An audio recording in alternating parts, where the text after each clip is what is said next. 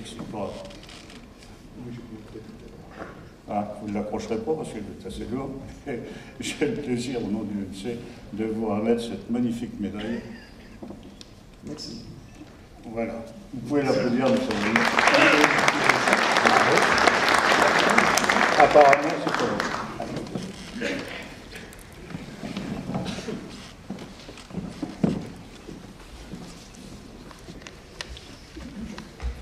Je suis le médecin en chef euh, Christian Huguet, médecin référent en action humanitaire, et c'est pour ça que je suis très sensible à tout ce qui vient d'être dit pour l'action que vous menez en matière sociale. J'ai un fils qui est aussi colonel et qui commande le premier régiment de la garde républicaine, donc que dans la famille se porte bien. Je suis également le premier adjoint mâle de l'équipe municipale et à ce titre, je représente Xavier Bertrand, qui sera avec nous ce midi au Monument aux Morts et à qui je ne manquerai pas, Monsieur le Président, de remettre la très jolie médaille que vous venez de me confier. Monsieur le haut dignitaire de la République, Messieurs les Présidents, Mesdames et Messieurs, en vos grades, fonctions et qualités. En recevant l'an dernier vos camarades parachutistes de l'association Baguera et du 11e choc, ainsi que le mois dernier, la section Hauts-de-France de l'amicale Royale Auvergne du 18e régiment de chasseurs parachutistes, je me permettais de leur rappeler qu'emportant chaque année un intérêt tout particulier aux cérémonies commémoratives, officielles ou associatives, la ville de Saint-Quentin, ville de tradition et d'histoire, dont le blason comporte la croix des Mailleurs, la croix de la Légion d'honneur et la croix de avec palme, remplit toujours parfaitement son devoir de mémoire, donnant même un éclat tout particulier à des cérémonies symboliques, comme le 14 juillet, où nous avons vu plusieurs fois notre défilé local survolé par la patrouille de France, ou alors comme aujourd'hui, en recevant, Monsieur le Président, votre congrès départemental, sous les auspices bienveillants de vos deux fondateurs qui nous regardent certainement de là-haut, Georges Clémenceau et le révérend père Brottier.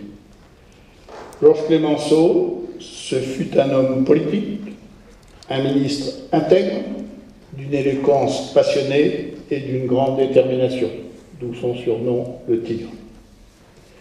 Le révérend père Daniel Brottier fut un aumônier militaire que les poilus appelaient familièrement l'aumônier verni, car toujours au cœur de la bataille, et dans les tranchées aux côtés des combattants.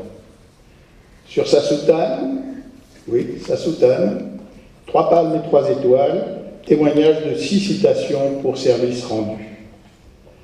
Vos faits d'armes et ceux de vos anciens ont été sur tous les lieux mythiques qui ont exalté nos valeurs militaires, l'Indochine, la FN, le Liban, ainsi, comme l'a dit le président, tous les théâtres d'opération des cinq continents où nos OPEX continuent à risquer leur vie, mais aussi à faire preuve de vaillance.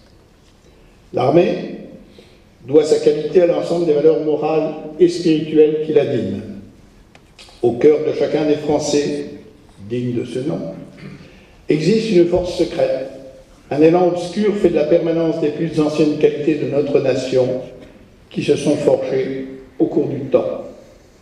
Elles sont les éléments de force qui, à l'heure des dangers, s'impose soudain aux citoyens que nous sommes, faisant surgir du vieux fond de notre histoire, la vraie histoire, malheureusement pas celle que l'on enseigne à nos enfants et nos petits-enfants actuellement, mais celle qui fait ressortir la vraie figure de la France.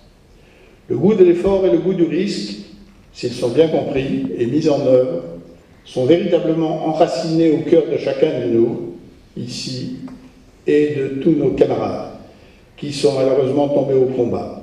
Et ce sont eux qui assurent la pérennité des qualités fondamentales de notre nation, notamment ceux qui en sont les éléments les plus marquants, vous et tous vos camarades tombés au champ d'honneur qui vous ont précédés. La cohorte que vous représentez est un mélange de valeurs citoyennes, générosité, amitié, solidarité, goût du travail bien fait et des missions accomplies, et de vertus civiques, l'initiative, le courage, l'audace, l'honneur, la discipline et le sens du sacrifice. Merci à vous tous d'avoir choisi notre ville pour votre congrès départemental. Sachez que Monsieur le député maire, Xavier Bertrand, qui nous rejoindra tout à l'heure pour la remise de gerbe et moi-même, en sommes très honorés et que nous en sommes fiers. Merci à vous.